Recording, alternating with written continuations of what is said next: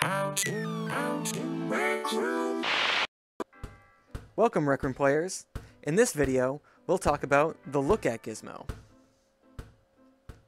The Look At points itself in the direction of the object or player it's following. It knows who or what to look at based on either object tags or player roles. The Look At has some basic uses, like making objects or characters in the world more interactive, or, for example, creating an automatic spotlight.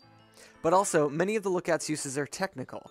They're often used to make control systems, animations, or simple NPCs.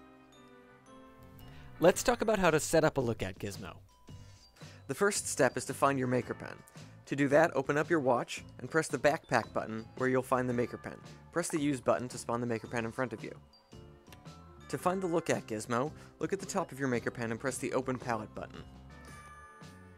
You can search for the Look At gizmo using the search feature of the palette, or you can go to the Gadgets tab, press on the Gizmos filter, and find the Look At. Then use your Maker Pen to spawn one. First, we'll set up a Look At to follow an object. Let's follow the bouncing ball. I'm going to use this basketball, which I found under the sports filter of the props tab in the Maker Pen palette. For a simple look at gizmo setup, there are only two steps. First, we need to tell the look at what it should follow. Use the configure tool in your Maker Pen to open the configuration menu on the look at. On the first page, we see the option for tag to follow. This tag needs to match one of the tags on the basketball, so let's check to see which tags the basketball has. I can use the configure tool on the basketball to see its tags. All the props in the MakerPen's prop menu have automatic tags that they already have when spawned, so the basketball already comes with the basketball tag. If we wanted, we could add a custom tag using the Edit Tags button, but let's keep it simple and just use the basketball tag.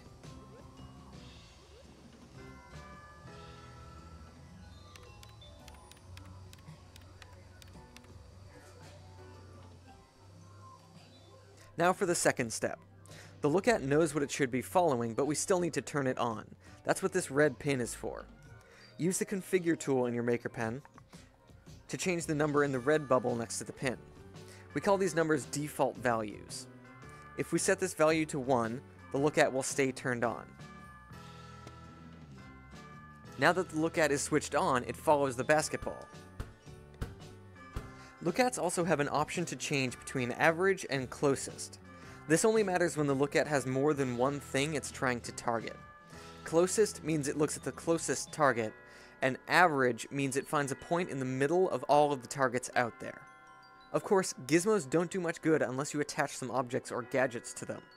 I'm going to have this wooden cutout of a player watch the basketball. We use the wire tool on your Maker Pen to connect things to gizmos. Just like with all gizmos, if you want an object to move with the look at gizmo, you need to connect it to the copper pin on top. Now the cutout will follow the basketball as I toss it around. One more quick note. The look at doesn't need to be turned on all the time. You can use circuits and gadgets to control whether it's turned on or off. For example, when I switch this toggle button on and off, the look at turns on and off too. You can find the toggle button by searching for it in your palette. Alright, here we are in this big open area with some bounce pads over there, and this is where we can talk about how to set up a look at that will follow a player instead of an object. The setup is almost the same as it was for following an object. The red on-off pin is configured with a 1 to keep the gizmo switched on. And this time I've attached this expertly crafted flying imp model to the look at so it'll be like an enemy watching a player. To change the look at gizmo so that it follows a player, go back into the configuration menu and look at target type. Push the button for player to switch the gizmo to player mode. You can see that this option panel changes when we do that, and now it says player role. The big difference between following a player and following an object is that you need to tell the look at to follow a player role instead of following an object tag. You can check out other videos linked in the description to learn more about creating roles and giving roles to players. Let's quickly set up a role and the way to assign that role, just to get an idea of how it works. I'm starting off in the Gadgets tab, and I'm going to go to Game Chips. On the second page, I find the role chip. I spawn one of those, and now I want to give it a custom name so that I know what it does. Because we've got an imp that's watching me, I'm going to call this imp target. Okay. Uh, I don't need to change any of the settings in the role. I just need to have it. I just need it to have the name, but I want to map it to myself. So back in Game Chips on the second page, I'm going to spawn a role mapper chip. Now this has got a couple couple different modes, so I'm going to configure this and change this to the Add Player Role mode. Now I can use this to give this role to myself. Um, I can choose from the player roles that exist in this in this room. So I'm going to select Imp Target. So now I can use this chip to add this role to myself. And uh, the, the only thing I need to do in order to do that is I need to send my own player ID to this red pin. We can ignore the green pin for now. Uh, the best way to do that is to use a button prop. So going into the props menu, under dynamic props right here on the first page, I've got button. Okay.